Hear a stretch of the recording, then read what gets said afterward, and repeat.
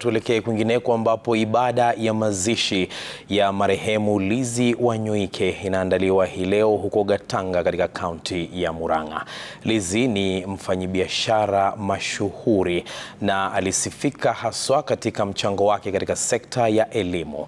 Ni mwanzilishi wa taasisi ya Nairobi Institute of Business Studies NIBS, miongoni mwa biashara nyinginezo katika taifa hili. Viongozi mbalimbali wanahudhuria ibada hiyo ya mazishi ambayo itaandaliwa hapo baadaye nyumbani kwake. To honor the beloved of the Lord. Stephanie, where are you? I give you only one minute. Oh, it's a little sweet girl. Two minutes then, Stephanie. Thank you. And Kuna Group, can you be coming up here, please? Good If you, afternoon. if you can read the first, the middle, and the last, you'll do me good. Okay. I can see the speech.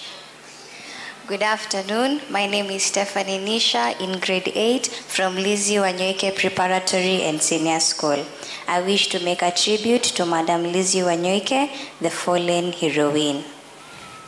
Madam Lizzie, we are broken that you have gone, gone to a journey of no return. You never said you were leaving, nor did you tell us goodbye.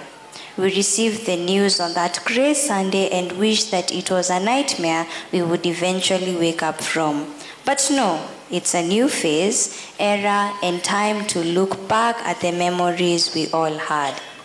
Your love has given life to others, Madam Lizzie, we children being among them.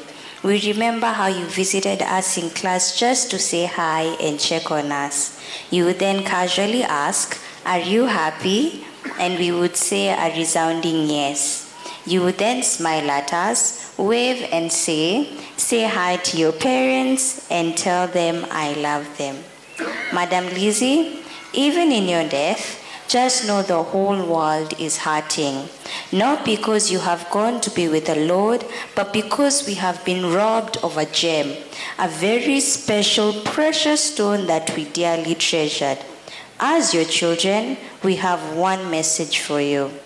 Rest assured that we are the future Lizzie Muthoni Wanyoike. We will continue lighting up the world with the candle you passed to us. You will be proud of us in heaven. I may not tell the whole world everything about you for now, but what everyone knows is that for sure, God has plucked the best flower from his garden. You are in a better place, Madam Lizzie. We will live to reminisce your passion, dedication, and contribution towards life. May you rest in perfect peace, our heroine. Till we meet again, thank you. Thank you, Stephanie. Can we now have the... Ni mwanafunzi wa mojawapo ya taasisi ama shule ambazo zinamilikiwa na Lizzy Wanyoike aliyefariki akiwa na umri wa miaka sabini na tatu akim omboleza tu kama mojawapo ya kurunzi ambazo zimetoa mwanga wa elimu kuanzia chekechea hadi chuo kikuu.